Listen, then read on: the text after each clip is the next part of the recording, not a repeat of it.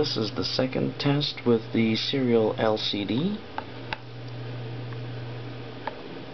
Here's the flip-flop.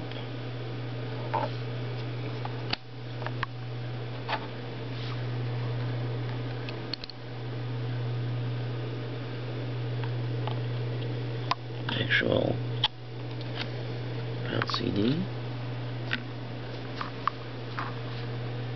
Here's the board.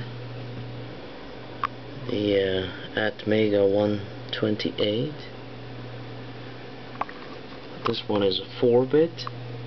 This one is also 4-bit, but with two wires.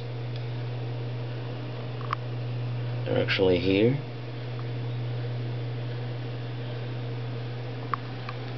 And then I'll turn it on.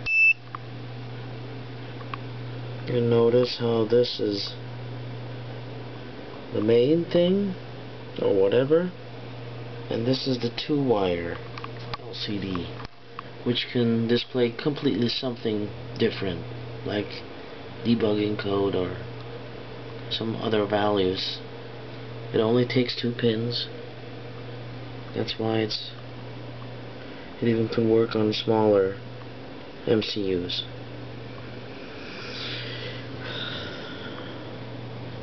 Okay.